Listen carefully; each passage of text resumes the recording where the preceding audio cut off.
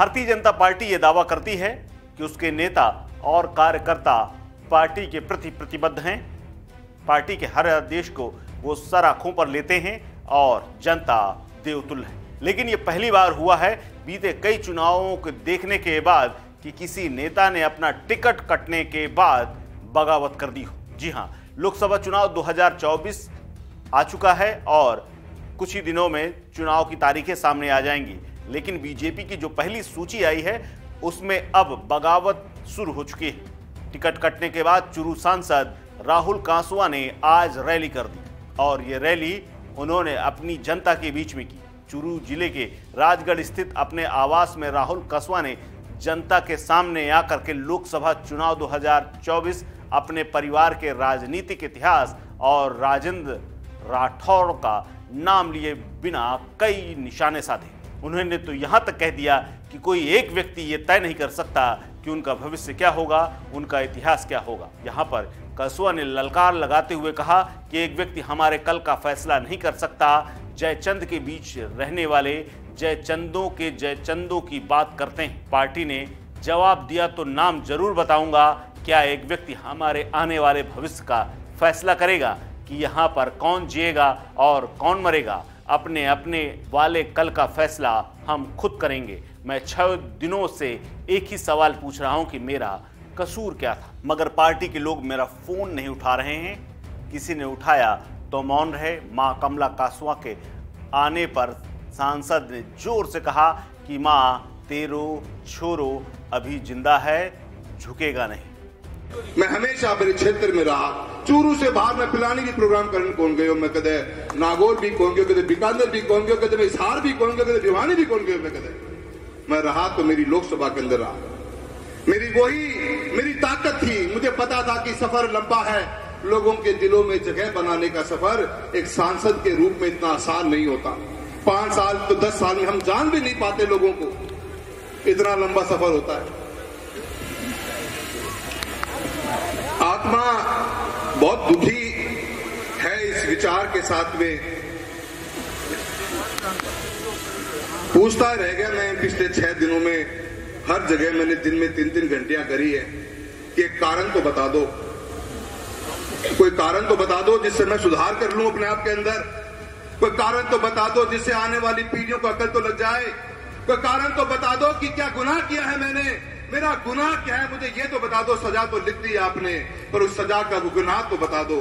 पर आज तक कोई मेरा फ़ोन उठा नहीं पाया, कोई जवाब मुझे दे नहीं पाया। वो फ़ोन उठे तो वो निशब्द रहे, कुछ बोल नहीं सके। दरअसल, राहुल कांसवा ने इस टिकट को अपने दिल से लगा लिया है और अपने ऊपर इस तरह से इसको दिखाने का वो प्रयास कर रहे हैं, जैसे उनकी छवि को धक्का पहुँचाया गया है। उन्हें इस टिकट कटने से ठेस पहुँची है और ये सब कुछ उन्होंने अपने स्वाभिमान के लिए करना शुरू कर दिया है। वो ऐसा दिखा रहे हैं कि जैसे वो अपने स्वाभिमान की लड़ाई लड़ रहे हैं। दरअसल, बीजेपी से टिकट काटे जाने के बाद वो पहली बार जनता के बीच आए।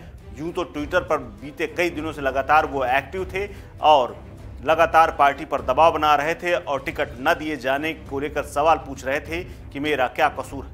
आपको बता दें कि आज राहुल ने जनता के बीच और अपने आवास पर लोगों के बीच कर, आकर के कहा कि उनका परिवार 1977 से राजनीति में है। चुनाव कभी हार जीत के लिए नहीं लड़ा।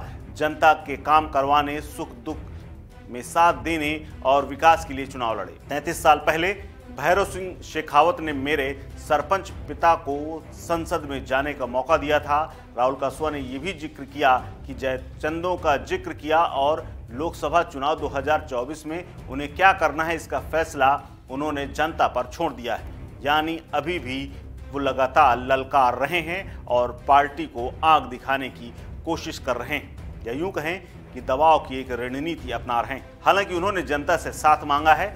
ऐसे में कहा जा रहा है कि राहुल कासुआ चुरू से बगावत करते हुए चुनाव या तो किसी पार्टी से या फिर निर्दलीय लड़ सकते हैं। चुरू से लगातार दो बार से बीजेपी के सांसद का इस बार टिकट कटने की वजह से तारानगर के राजेंद्र राठौड़ की कांग्रेस के नरेंद्र बुडानिया के सामने हार का बदला माना जा रहा है। दरअसल, विधानसभा चुनाव में राजेंद्र राठौड़ हार गए थे और आरोप इसी प्रकार के थे। यानी चुरू की जो सियासत है वो अपने आप में एक पहेली। साथ ही ये भी चर्चा है कि राहुल कासवा कांग्रेस में भी जा सकते हैं और वहाँ से हरी झंडी का इंतज़ार कर रहे हैं। हालाँकि पार्टी के आखिरी रुख का भी वो अभी भी इंतज़ार कर रहे हैं। आपको बता दें कि 2 मार्च को बीजेपी की पहली सूची आई थी और देश भर में एक सौ पंचानवे सीटों पर ऐलान हुआ था। कुछ सीटों पर टिकट वापस हो गए हैं।